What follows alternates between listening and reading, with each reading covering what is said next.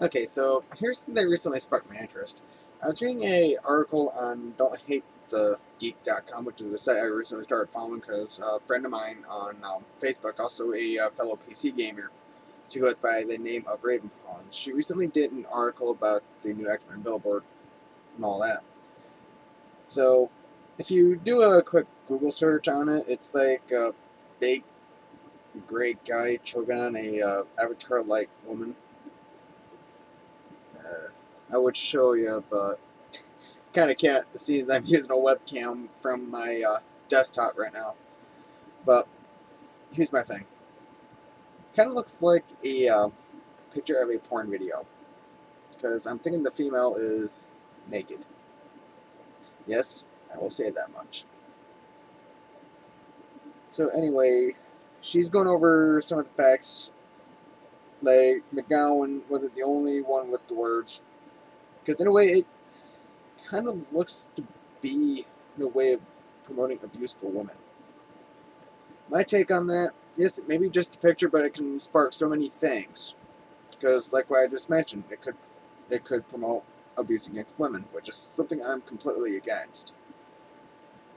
And also, almost like a porn video, in a way. Because, you know, some women love to be choked while having sex. Keep in mind, this is a, uh, this blog contains adult content, which is kind of a little late for me to say. But better late than ever, folks. But this was related to the new X-Men Apocalypse, which I don't follow that series of movies that often.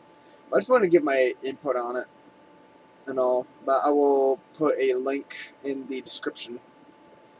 And Fox in turn apologized to the for the marketing material.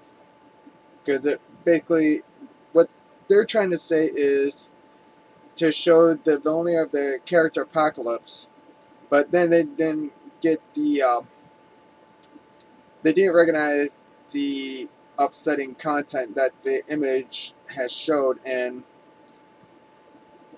it's basically like violence against women is what people are picking up.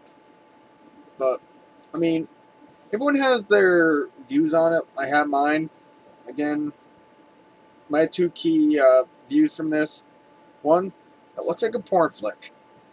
And two, it looks to be promoting violence against women. Which is something I really don't support. But that's all I have to say. Just another random vlog video out of the blue. Just recording from my Logitech C270 webcam on my gaming desktop. And back to my network setup, I'll have to do an update for the Abyss Tech channel sometime. But you know, shit happens. People flip out. Adios.